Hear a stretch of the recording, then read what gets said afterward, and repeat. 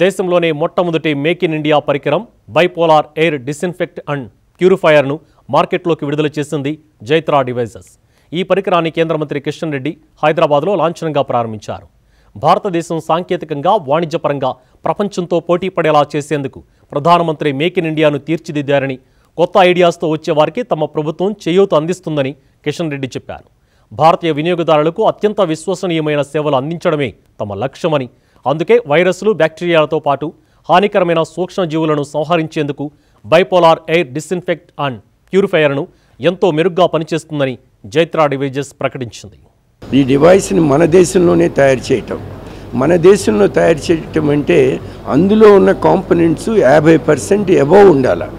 అట్లాంటి పరిస్థితుల్లో నేను చేసిన ఈ ప్రాణ్ అనే ప్రోడక్ట్లో తొంభై పర్సెంట్ ఎబవ్ ఉన్నాయి మిగతా టెన్ పర్సెంట్ కూడా మేము తొందరలోనే మన దేశంలోనే తయారు చేస్తాం అని గర్వంగా చెప్పగలుగుతున్నాను.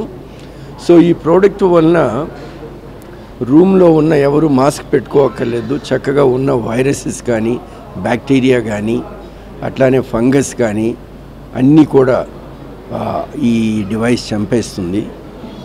కాబట్టి ఎయిర్ అబ్సల్యూట్లీ ఫ్రీగా ఉంటుంది.